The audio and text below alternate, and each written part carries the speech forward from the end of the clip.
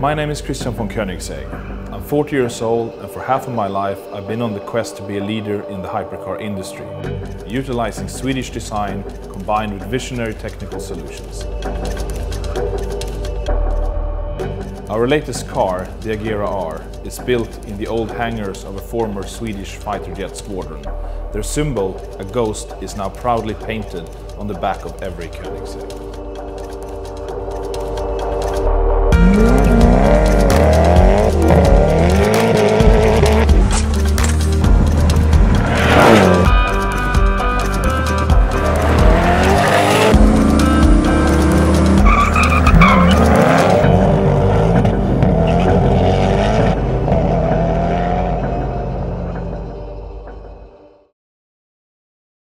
So I'm here with Mattias, who is responsible for our hardware and software development when it comes to control systems in the car.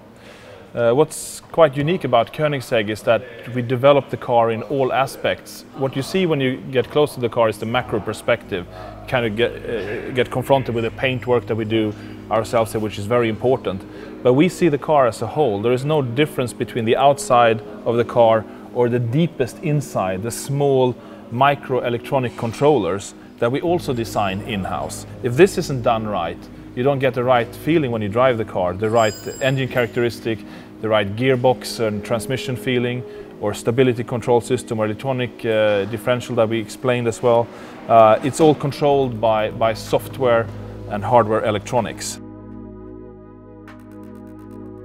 So uh, we use a special uh, CAD software to engineer and design the circuit board and uh, all the components are chosen for, for our needs and we try to use always the latest technology so it's uh, as future safe as possible and stays modern for a long period of time. So even if you look at the bottom here at the circuit board it says uh, Koenigsegg, this is a transmission control unit. The engine control unit looks very similar. Uh, we even machine, CNC machine a billet box to, to fit the circuit boards into so they're well protected and, uh, and catered for.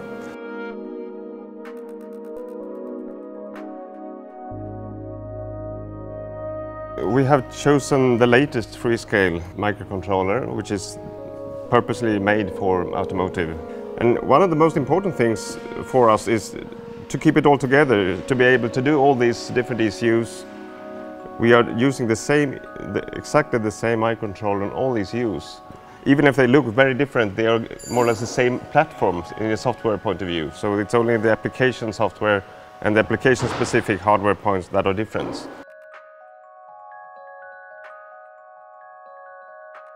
We have CAN bus also all between the ECUs. And one of the benefits of that is that when, in our position, when we have the possibility to, to write the software in all ECUs, is that we can put functionality wherever we want. Even if a, a, sensor is in one ECU, we could put the functionality using the sensor in another one, and vice versa.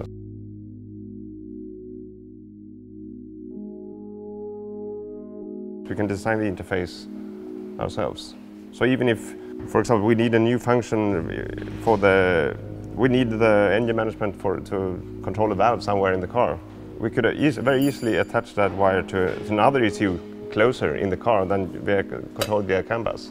Yeah. It's sometimes of course difficult, but that's not an. That's not the most difficult that's part. Not, that's the fun part. That's not the hard part. The hard part is to be able to find time to do everything you want.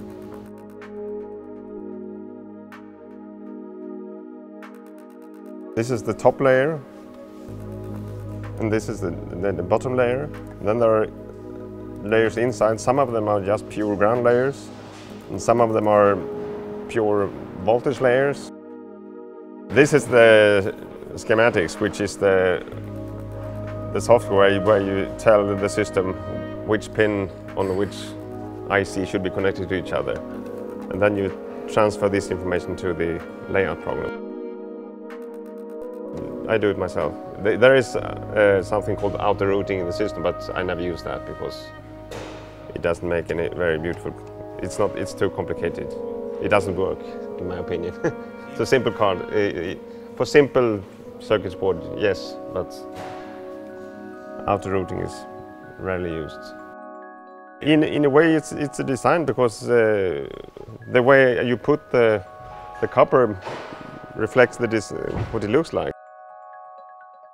You have to consider uh, um electromagnetic fields. Mm. So there can be conflicts if it's not done correctly. And this auto routing does rarely consider those aspects. It's more experience that can uh, avoid potential uh, electromagnetic field issues. If, if you have a, um, one copper uh, uh, routing which has a lot of uh, energy in it, you want to have that in a layer far away from something very sensitive. In a bigger company you would have hardware people there, software people there, engine builders over there, and they would get together and meet sometimes talk about strategy. But here we have the same people doing all of these aspects together in a very small group. So when we're designing the circuit board, we're considering what the software should be like in a more direct way than that someone else is thinking about that. And, and uh, as, as our software engineers are also part of our engine development team and chassis development team, they consider aspect, maybe I should have this function for this when I'm driving the car with this chassis set up, I should maybe put this in. They're kind of thinking more as a whole, which is completely unique. If I'm guessing, I would say maybe we're spending 15-20% of our development time and budget on stuff like this. But, but it's all integrated in the other items as well. It's definitely the brain, but it's part of the soul. I mean, it is the brain, but it gives part of the soul and the experience. Because th this is really the, the controlling function of, of, of the mechanics. Every single line of code inside these ECUs have been written by us and also this software that we're using in the PC is also entirely written by us. It's a never-ending story of evolution. It, it, it, it's, it is exactly what Mattias said. What is your biggest challenge? It's, it's time. Because if you had all the time in the world from the get-go, you would never have to update software. because you always come up with new ideas, there are new systems in the car, customers ask for new features, and, and uh, there's just, all, it's an endless possibility to come up with new ideas and improve, basically. And, and, for sure we do that on service for the cars and, uh, and also upgrade older cars with newer hardware systems so we can put new software into them. If the customers want it. I mean, they're, they're fine as they are, but, but you can get new features, new experiences if you do.